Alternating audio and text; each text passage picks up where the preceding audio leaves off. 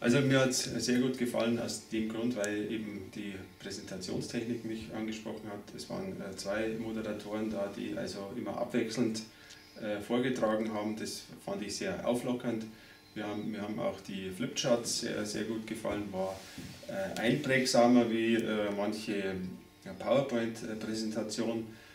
Was natürlich auch sehr gut war, waren die vielen Übungen, teilweise anstrengend, aber die haben wirklich was gebracht, weil man auch selber testen konnte, ob man das Ganze äh, verstanden hat oder nicht. Ähm, in meiner täglichen äh, Arbeitspraxis konnte ich jetzt auch schon einiges anwenden.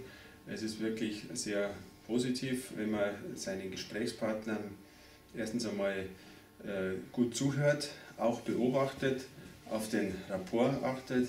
Also auch diese Schuld von Tum-Technik finde ich ganz gut, oder dass man eben aus dem Gespräch äh, rauszieht oder auch bei dem, was man selber sagt, immer darauf achtet, äh, welch, in welche Ebene äh, dass ich mich jetzt gerade befinde. Und es ist auch, äh, ich habe also schon die, auch die Erfahrung gemacht, dass das ganz äh, gut wirkt, wenn man mal in den verschiedenen Ebenen äh, dann spricht. Das lockert so ein Gespräch dann doch auf und man kommt dann doch eher zum Ziel. Ja, alles in allem war es eine sehr interessante Veranstaltung und ich kann es also auch durchaus weiterempfehlen.